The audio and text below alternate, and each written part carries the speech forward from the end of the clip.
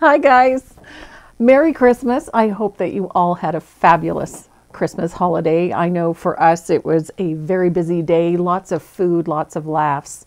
Uh, we played cards until late last night and uh, just enjoyed each other's company. It was a lot of fun. So, today I thought, after all of the hectic stuff of, of the holidays, of the last minute shopping, and all of the cooking and family coming and going, for those of us that were able to see family, um, I thought it might be nice just to have a relaxing live, something really simple, something easy to do, something you don't have to have a ton of supplies for and something that you can actually put to use. And this one is a Tuscan olive oil tag. So a nice decorative tag that would hang around the neck of your bottle of olive oil in your kitchen. If you're anything like me, mine are out of my kitchen all the time. They're on the kitchen counter uh, where they're in easy reach. Because if there's one place in this house that I spend more time than I spend in the studio, it's in my kitchen.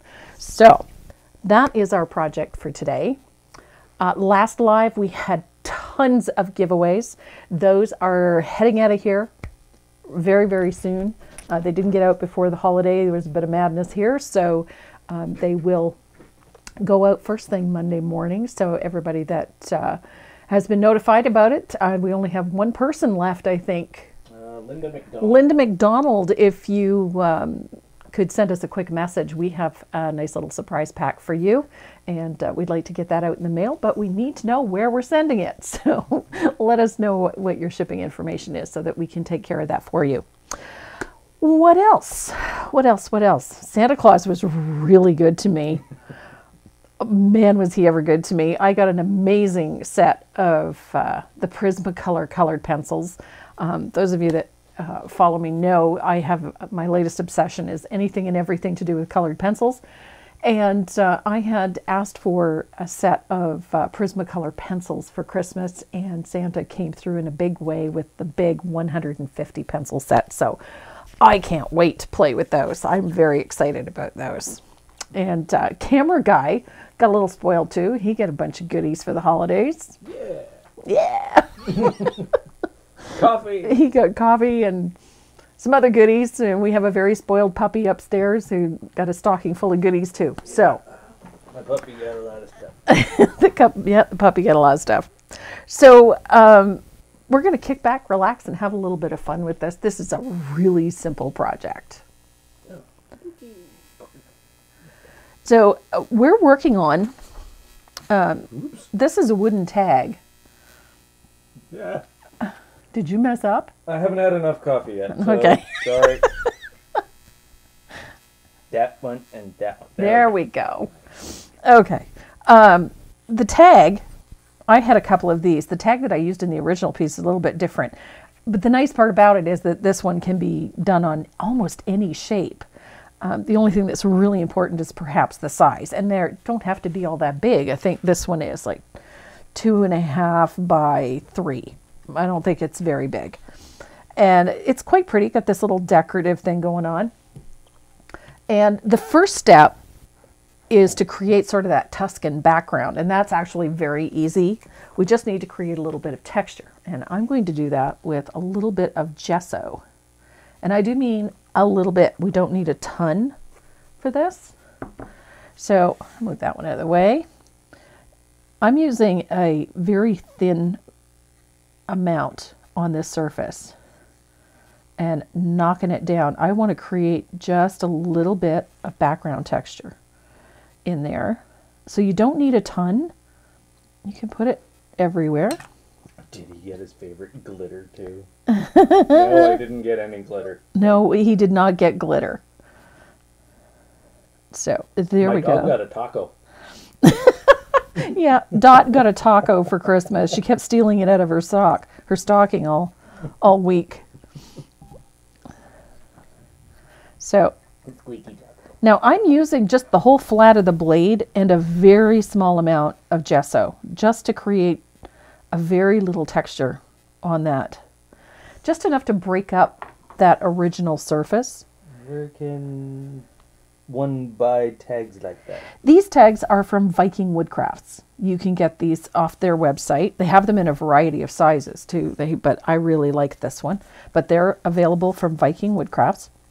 Now this one is completely dry. I've put just a light coat of the gesso on this one. I'm going to set that one aside to dry so I don't put my elbow in it because you know I will. You already put your hand in your palette. I already dropped my hand in my palette and we weren't even on the air yet. I'm hopeless some days. So the next step is to put a nice even base coat on. So I'm using a little bit of warm white. Didn't get glitter yet. Yes, yes.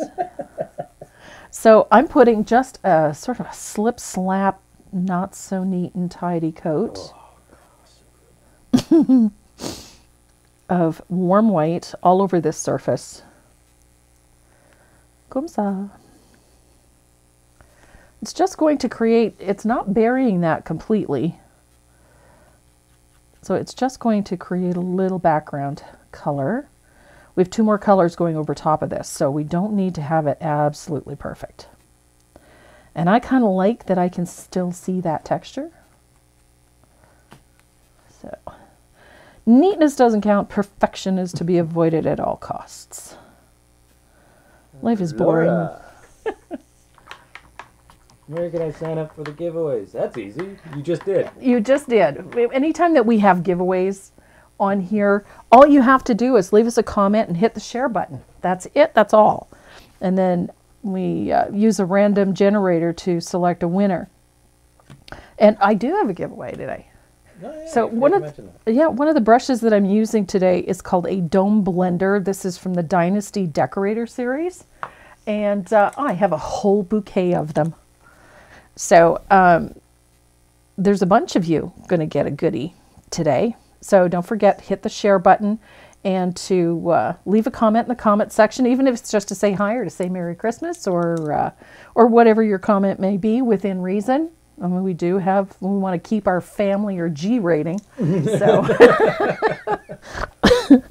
Actually, keep I- it clean. I think on YouTube we're classified as PG thirteen. okay, I think it PG had Something thirteen. to do with waterboarding Santa. Okay, That was my fault. yes, it was. I'm going to dry this real quick. So this is already starting to give us that sort of rustic old world look, which I love personally. So this needs a little bit more color. So I'm going to use honey brown because I love honey brown. This is a great color. It's nice earthy, not quite a terracotta color, but close. And Would love to have a dome blender to try. Wink, wink. can you hand me a piece of that shop towel, please? That doesn't look like warm white. I, it is warm white or antique white. I am so sorry. It's antique white. Hello. I use warm white all the time. I forgot. I was even looking at the camera going, that really doesn't look like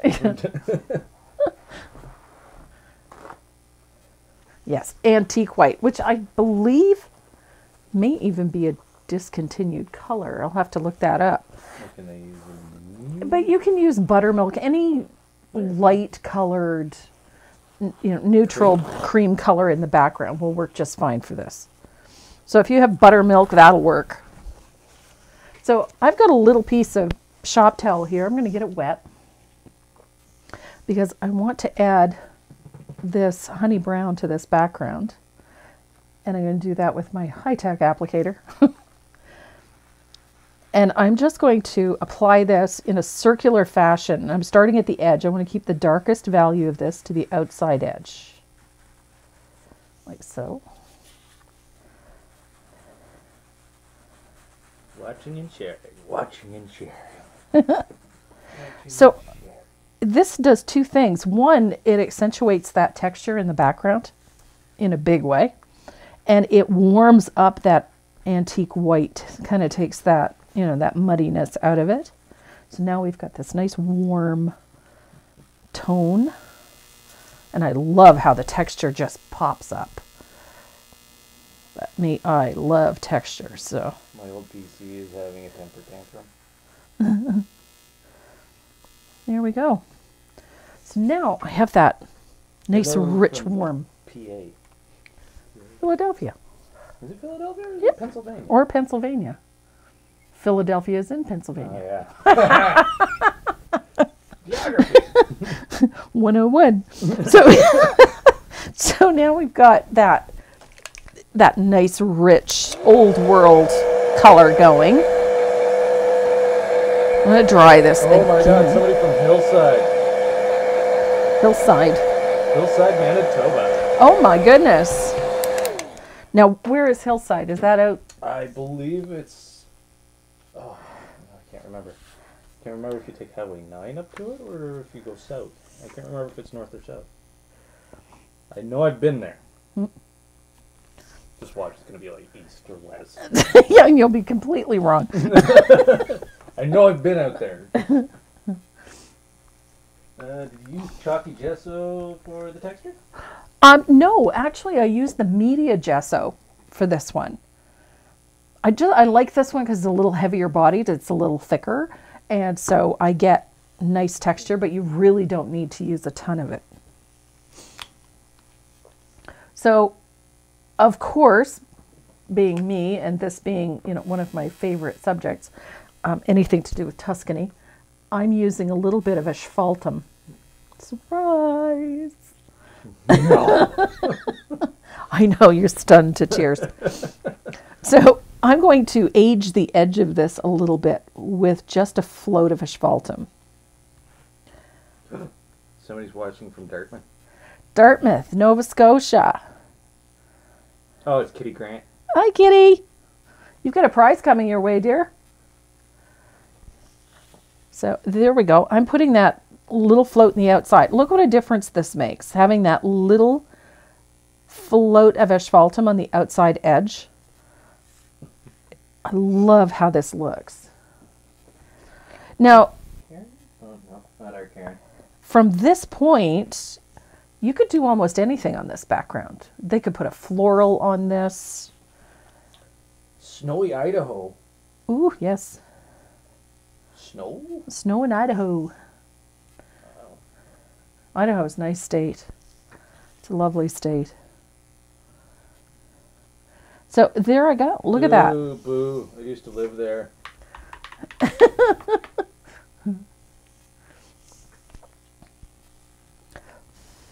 Delma Leopard Friesen. From Winnipeg, Manitoba. Winterpeg. Winterpeg. Spent a lot of t- a long time in Winnipeg. Yep. Live there.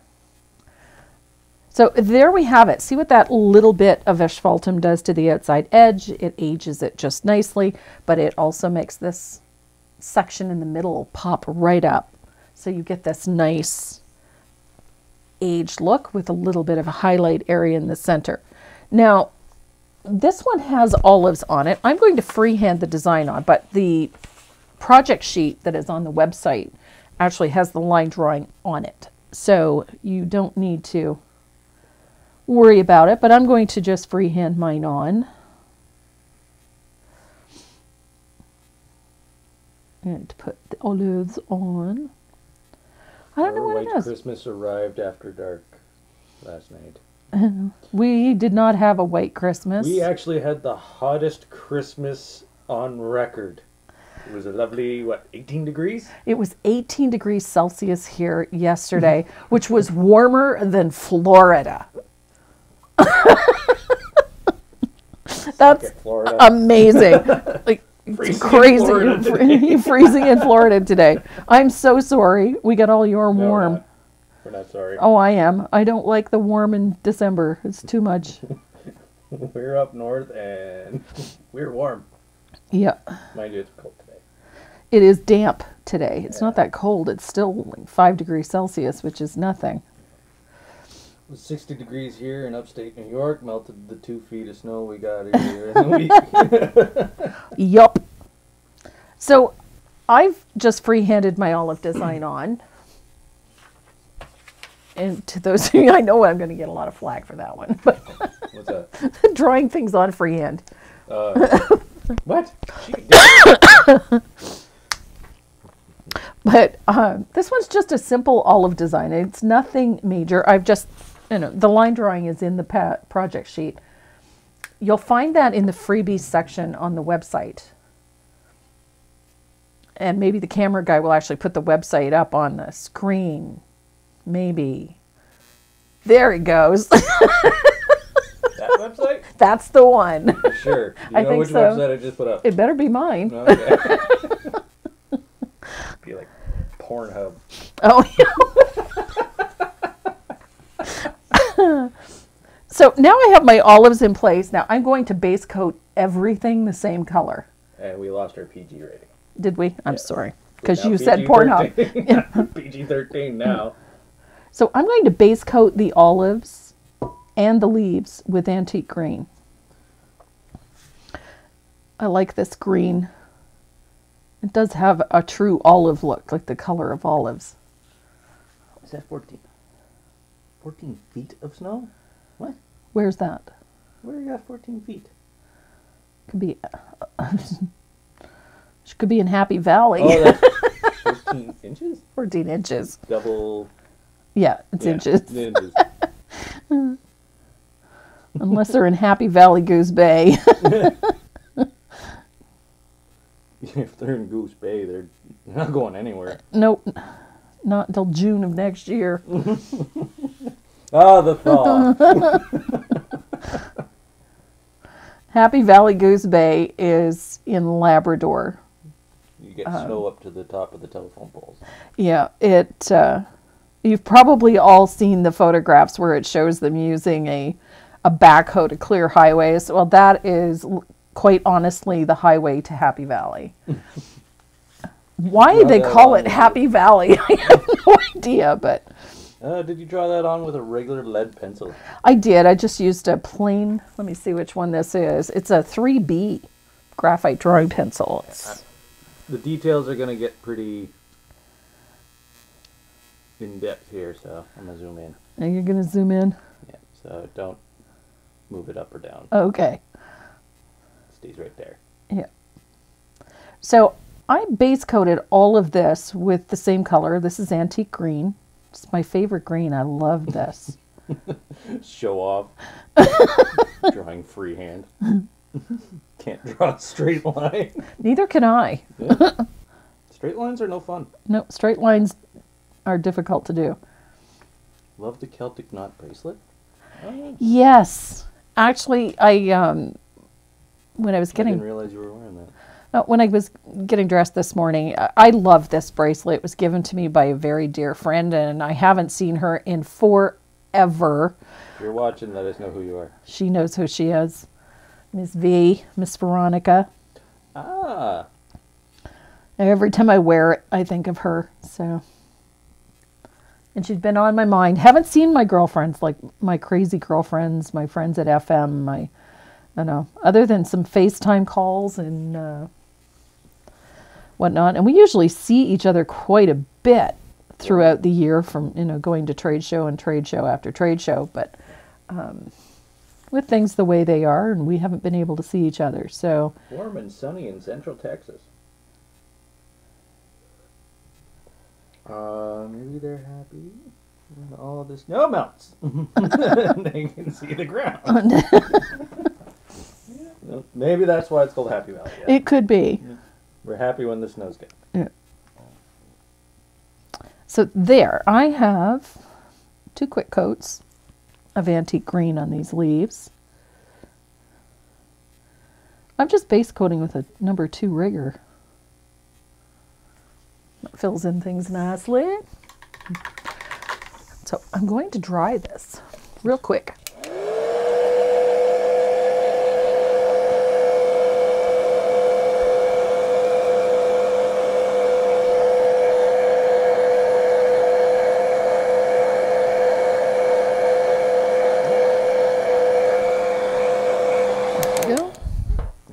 Welcome to winter.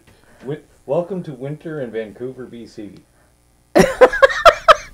Yeah, that's pretty close to the truth. Got a cousin up there. Is he in Vancouver? He- Yeah, he's in Vancouver. He's in Vancouver, actual. Yep. Yeah. So now that we have those base coated, we have to start shading these. Now I'm using, um, for these leaves, ordinarily I would use black green, but I have gone through my stash and I don't have any. so I'm going to use what I have, and in this case it's sap green, but if you have black green, it works beautifully. So we need to shade these leaves. And I'm going to shade them right down the center line. I want to establish that shadow right off the bat. Right to the point. Why are we frozen? I don't know. Everything's good on this end. And I'm going to put another shadow down the center of this one and on this one. So I've established those shadows. It's the holidays to oh, expect interruptions. Yeah. So I'll dry that real fast so that we can continue on.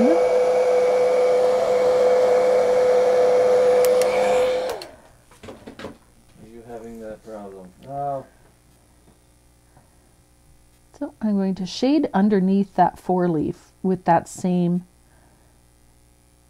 black green or sap green, just like so. And then I'm going to shade underneath that olive back here, just to separate these two. It's probably Facebook. Yeah. Because everything on this end is. Oh, actually, we're running a little slow, but shouldn't cause freezing. Because our connection is great. and- Yep. Yeah, We're all good down here. So I have the shading in on those leaves, and now I have to start shading these olives. Now I'm using soft black for this. The reason I chose this color is because it has a little bit of a purplish cast, sort of like a black olive. Know, with that little bit of red. So it works very well on this antique green. So we're going to shade under the olive like so. On that side, and I'm going to do the same thing on the other side, but it's going to be a little narrower.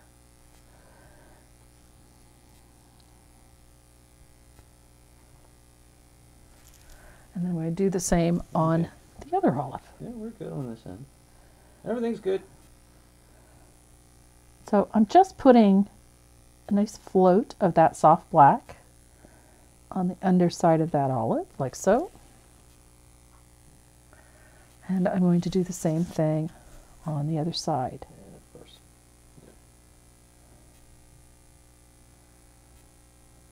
Just Turned like off that. my Bluetooth. It's better.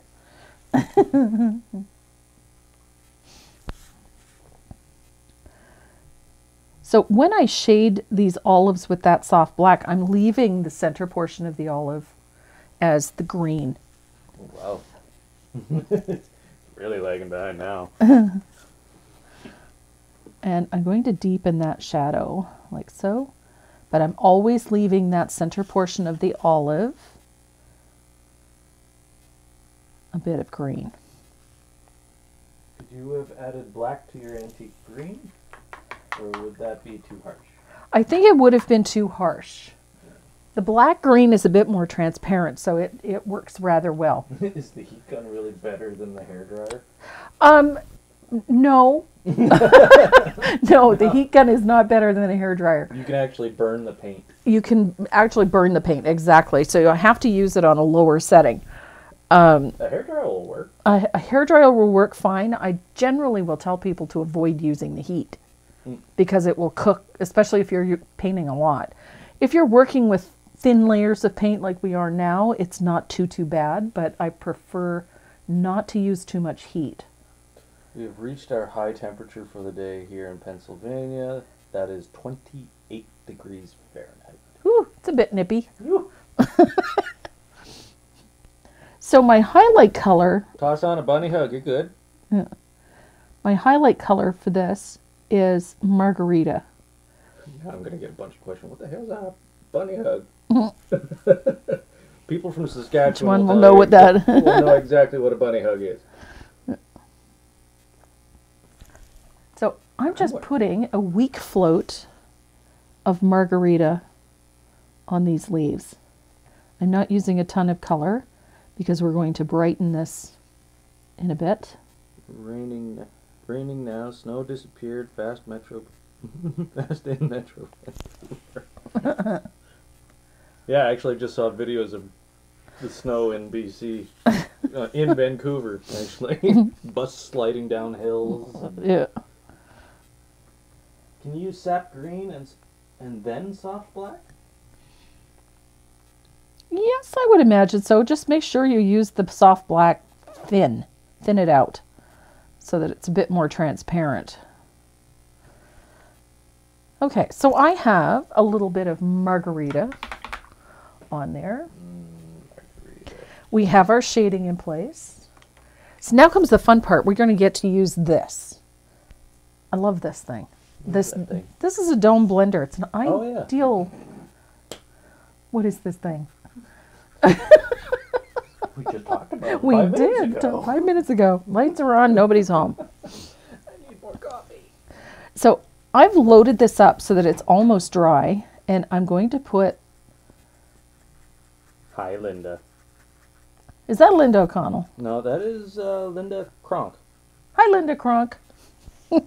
Just popped up, said hi. That's it. That was the extent That was of the extent of it. All good. Hi. So I'm putting a dry brushed highlight using that dome blender onto that olive, just using that margarita. Is there a mix to make soft black? Uh, you can actually take lamp black and throw a little bit of red into it. Lamp black and red to make soft black? It doesn't make a true soft black, but it'll give you that. It'll take enough of the the harshness out of it that you it'll it'll work. It's out of stock everywhere. You have sap green on the leaves and soft black on the olives. So I'm just dry brushing a little highlight. Oh, yeah, we didn't even make mention of this. What's that? Somebody just asked, is the pattern available on your website? And what is it called? Well, It is called Tuscan Olive Oil Bottle Tag or the Tuscan tag, and it is on the freebies section of my website. So it's absolutely yes, free. It's absolutely free. Free download. There you go. There's the website. You gotta find this section called freebies. Yep. If you look in the menu at the top of the page, you'll see more. Click on more, it'll usually be the second or third one down. So I'm just dry brushing and I'm staying towards the upper side of this with that margarita. Yes, you will be able to watch the video later. It's going up on YouTube, and the replay will be available as soon as we go off air. Yep. And I'm going to grab a little bit of warm white. I'm going to brighten that highlight. Oof, what a mess. Can't believe you're back at it already. So I'm picking up a little of that margarita, but I'm also going to pick up a tiny amount of the warm white.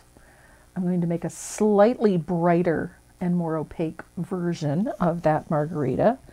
And I'm going to put that highlight. It's a little smaller than the previous one and a little higher up on the olive. Cold as Christmas in Florida since 1995. We're freezing down here. Suckers. Everybody goes to Florida as soon as the snow hits. who's laughing? You should find out what 18 degrees Celsius is in Fahrenheit. There we go. See if we can gloat a little more.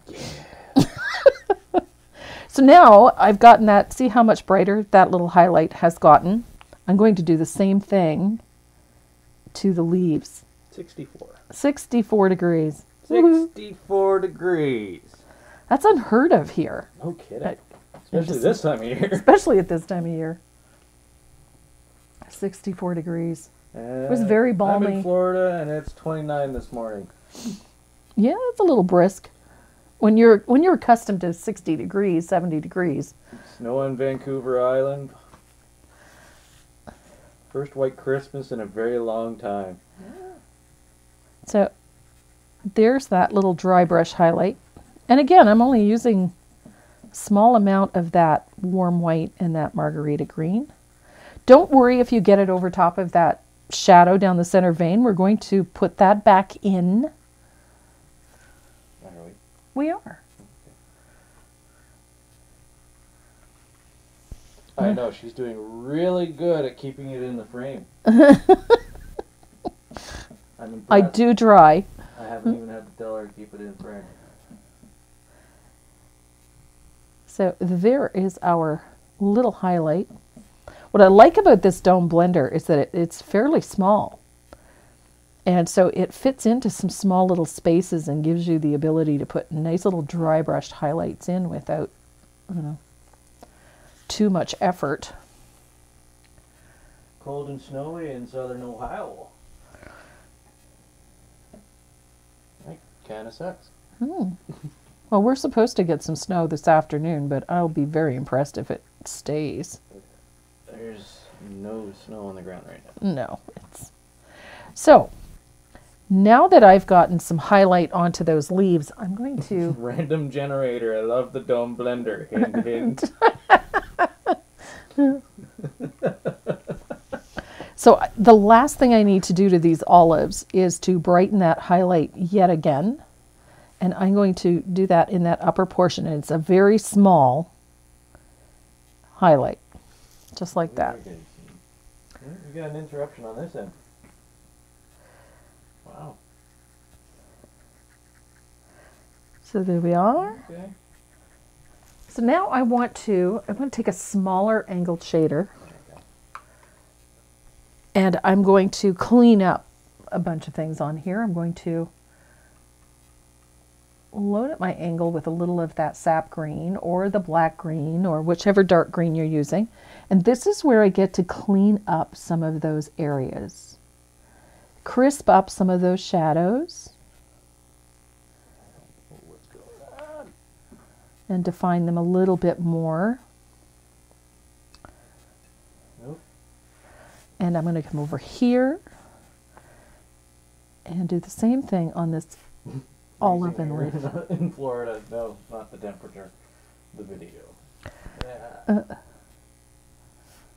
I don't know what's going on. Oh, There we go.